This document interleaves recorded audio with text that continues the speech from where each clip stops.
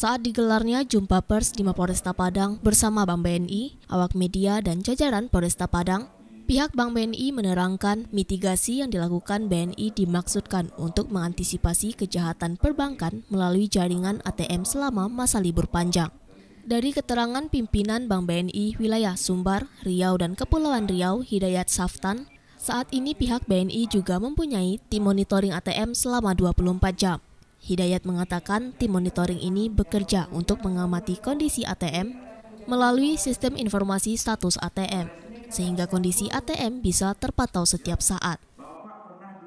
Imran Amir beserta jajaran yang telah berhasil dengan cepat mengungkap uh, kasus skimming yang terjadi tanggal 24 Oktober yang lalu.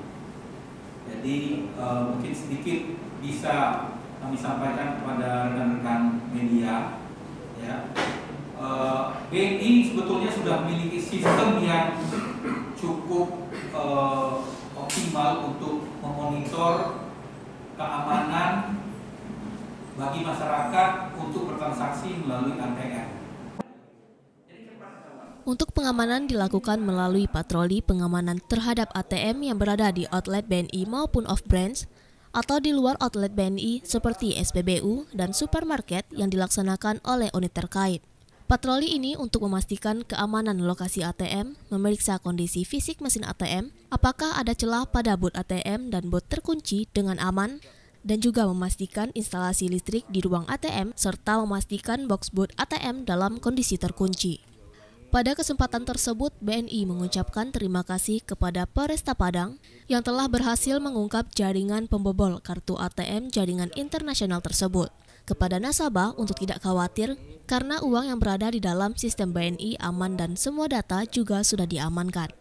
Hidayat menegaskan tidak ada data nasabah yang terkuras pihaknya telah melakukan pengamanan terhadap data nasabah. Tidak ada kerugian pada sisi nasabah karena BNI sudah melakukan sistem pengamanan ganda sehingga semua ATM nasabah akan diminta melakukan penukaran PIN atau first PIN untuk supaya menukar nomor PIN.